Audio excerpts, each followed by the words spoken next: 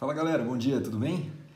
O pessoal me perguntou o que era aquela balsa ontem, é literalmente uma balsa de salvamento, né? Com válvula hidrostática, então não explode. Se um dia realmente o barco aconteceu uma desgraça, o barco naufragar, é a única coisa que provavelmente salva, né? Junto com o dispositivo via satélite. Aí surgiu o assunto de segurança no mar, bastante gente me perguntou. Vou falar para vocês o que, que eu faço, o que, que eu acho. Isso aqui eu acho que é a principal dica, é uma dica que está acessível a todo mundo, que é apenas amassar as farpas da garateia, né?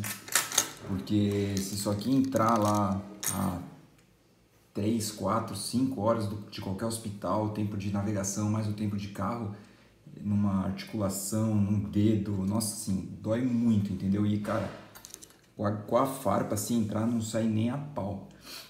Então, uma coisa simples, se tiver sem a farpa, você simplesmente puxa por onde entrou e volta à pescaria. Então, aqui acho que é a primeira dica, bem acessível e bem simples.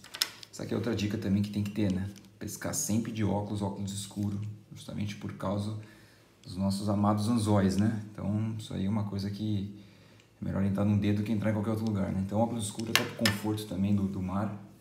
É, esse aqui é um dispositivo via satélite, é um spot, é um dispositivo bem simples que manda um sinal e você manda mensagens de ok, ou um texto que você customiza, ou uma mensagem de que você está bem, que você está indo para algum lugar e um socorro que você precisar. Não é caro, tá? É um dispositivo que custa uns 600 reais. Se você tiver um barco, vale a pena você ter. Se você pescar com guia e o guia tiver, vale a pena você ter o seu. O seu você sabe se está configurado, se está bom, se está funcionando, se você está pagando em dias mensalidades. Custa o preço de duas iscas aí e espero nunca usar, mas se um dia precisar. Isso aqui também, em termos de comunicação, é um dispositivo bem mais sofisticado, vocês podem ver pelo design já, né? Esse aqui literalmente você pode conversar com qualquer pessoa, é um Garmin Reach tem aqui dispositivo de, de socorro, ele tem um GPS, uma bússola integrada, então se um dia tiver qualquer problema, então é bem legal de ter esse aqui também, só que é um dispositivo já mais sofisticado, né? É, esse aqui é um negócio muito simples que eu acho que vale muito a pena ter, tá? Você compra em qualquer casa de ferramenta, loja de pesca, é um alicate de, com dois pontos de força de corte.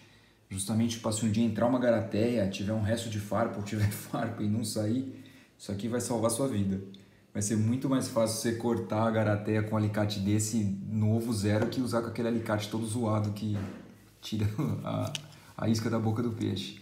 Aí a título de curiosidade de vocês, ó, esse aqui é uma caixa estanque, então fica tudo selado e todos os fogos aqui devidamente empacotados a vácuo. Então são fogos de socorro, né? Isso é só de curiosidade mesmo uma caixa de primeiros socorros. Isso aqui é legal você ter um mini kit para você dos remédios que você usa, remédio para dor de cabeça, Tilenol, enfim. É, outra coisa, né? Aí vai boné, né? imprescindível, protetor solar imprescindível e capa de chuva.